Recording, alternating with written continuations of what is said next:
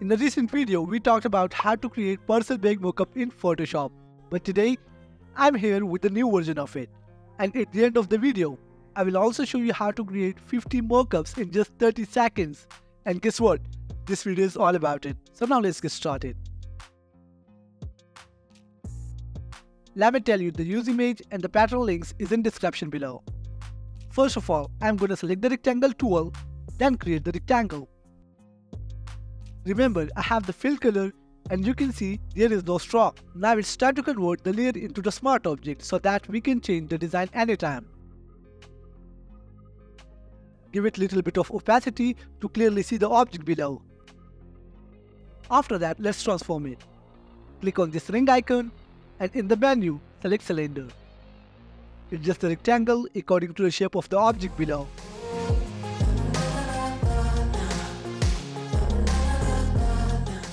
Once done, transform it again, right click and choose distort. Then adjust the corners as well. Once this is done too, hit enter and increase the opacity of the layer. Now simply double click on the layer image and embed your pattern. Here you need to adjust it and save it. So here is the result. Let's make it more realistic. Convert the blending mode to multiply. You can check the realism, but we are not done yet. Remember, the smart object layer should be selected, then go to the blending options. Hold Alt key and break the handle for creating the lighting effect. Hit OK at the end. Now let's make it more professional. Click on adjustment layer icon select the color lookup. Then in the left menu, choose 3 stripe.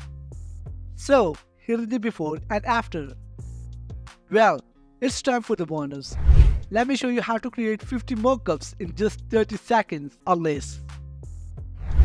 So here I have 3 folders. In the folder 1, I have the PSD file of the mockup. Now, here I have the design folder where 50 patterns are available. And lastly, here I have the export folder, where I will get the results of the mockups. Now, let's open up the Photoshop, go to plugin, click on bulk mockup. So here in the first one, I'm gonna select the PSD folder. In the second one, I have the design folder, where I have to pick all of my patterns. And in the last one, I will pick the export folder for the results preview. Well, once done, resize the Photoshop and export folder for the result preview. After all, at the end, click on start generating and the magic will start.